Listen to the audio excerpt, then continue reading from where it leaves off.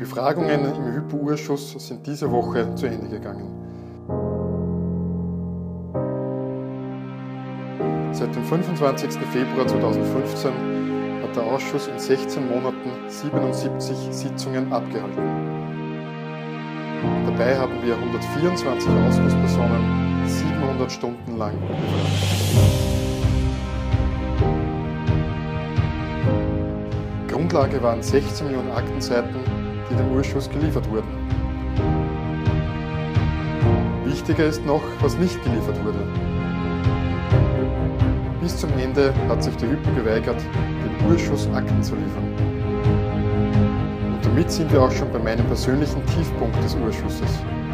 Die ständige Behinderung der Aufklärung, sowohl innerhalb als auch außerhalb des Ausschusses, die eines Rechtsstaates unwürdig ist.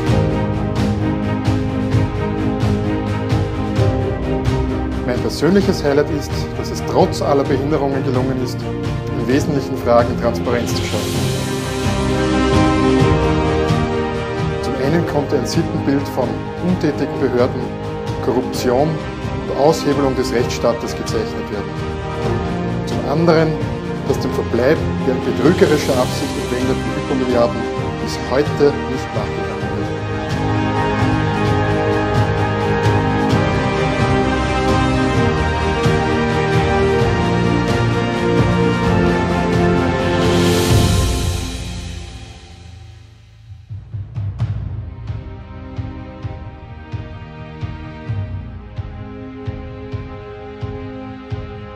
danke dafür meinem Team, ohne dessen aufopfernder und professioneller Arbeit dies nicht gelungen wäre.